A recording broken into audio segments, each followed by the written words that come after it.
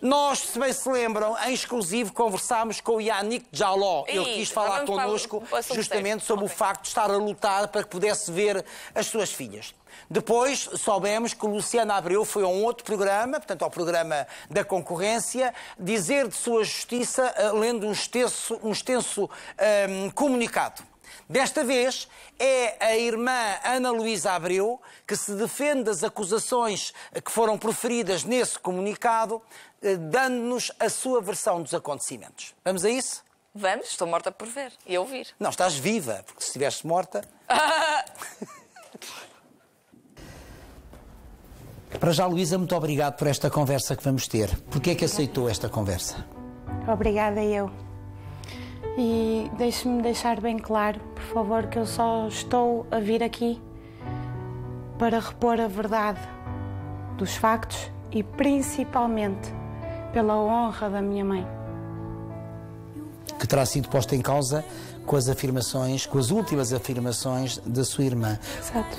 Como é que reagiu às afirmações da sua irmã que não são nada agradáveis nem para a vossa mãe, nem mesmo para si? Viu em direto. Vi em direto. O que é que foi sentindo? Uma grande falta de força nas minhas pernas, porque não estava a querer acreditar naquilo que estava a ver e a ouvir. Foram chocantes as afirmações? Muito. E viu-as sozinha ou estava com a sua mãe? Estava sozinha. E depois falou com a sua mãe acerca das afirmações? Sim. Ela Ela viu, ela quis ver, ela quis ouvir. Em direto? E o que é que ela lhe disse? Como é que ela se sentiu? Minha mãe desfaleceu.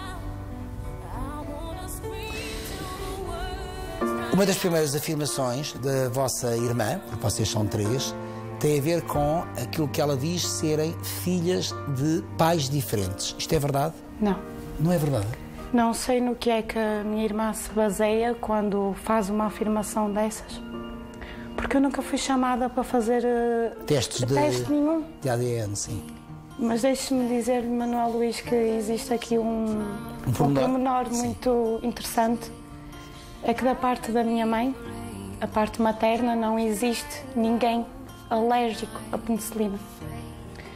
E somos as três irmãs alérgicas à penicilina, E quem é que é alérgico à a penicilina? minha parte paterna. Então, mas isto quer dizer que nunca na vossa vida se colocou esta hipótese de vocês não serem filhas do mesmo pai? Em criança, Manuel Luís, que a minha irmã fala dos seus 14 anos, Sim. muitas vezes. Nós temos diferença de 6 anos, Manuel Luís, o que faz de mim uma criança com 8. Pois, porque você é mais nova. Se tivermos que fugir, eu era a criança. Eu é que era a criança. Ouvi muitas vezes o meu pai. Desculpem. Ouvi muitas vezes o nosso pai a dizer à nossa mãe que eu não era filha dele. Ouvia muitas vezes isso. No meio das discussões? Sim, mas sabia perfeitamente que ele dizia isso para a magoar, para a menosprezar, para a redimir a nada. Que sempre foi essa a intenção dele, reduzir a minha mãe a nada. Isto quer dizer que, o vosso, que as vossas lembranças de infância são marcadas por, por uma certa agressividade, por violência.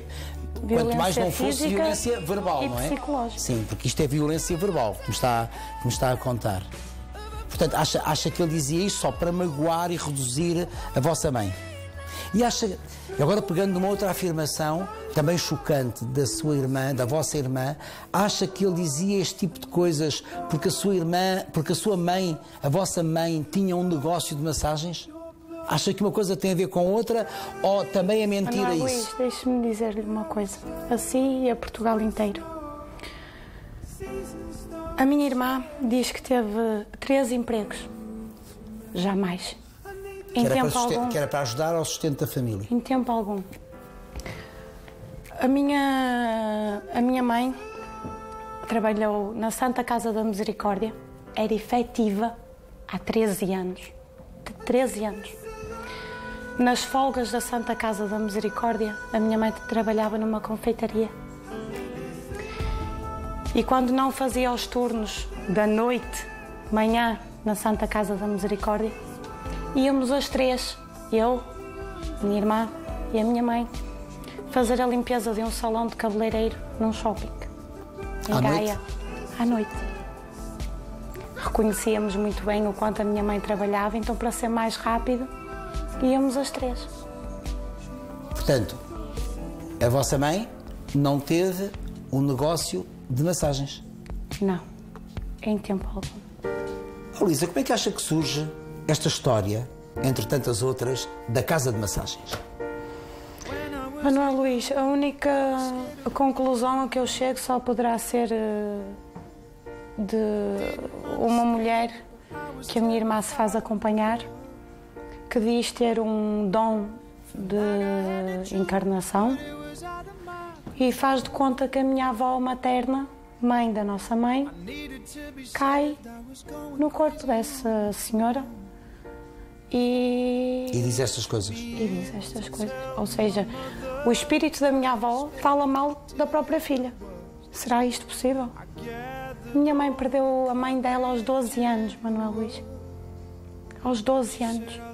Conseguem imaginar a dor, até a revolta desta mãe ao ver isto e ao ouvir estas coisas. Porque, Manuel Luís, uma coisa era se a minha mãe nos tivesse incutido na cabeça: o teu pai é isto, o teu pai é aquilo, eu é que sou boa, eu é que não sei quê. Mas não foi. Nós presenciámos tudo, toda a violência física, toda a violência psicológica. Estava à frente dos nossos olhos. Então, e acha que. A mim, a mim o que me faz confusão é como é que eh, uma, uma pessoa adulta e, à partida esclarecida como a sua irmã, acredita nas vozes que vêm do além contar estas coisas tenebrosas sobre a vossa mãe. Mas então é isso que me está a dizer, que acontece. É, Manuel Luís. Portanto, a vossa mãe nunca teve outra atividade noturna que não fosse realmente trabalhar no salão de Santa Casa cabeleireiro e de fazer os turnos noturnos da Santa Casa da Misericórdia. Exatamente. Nunca um negócio de massagem. Nunca.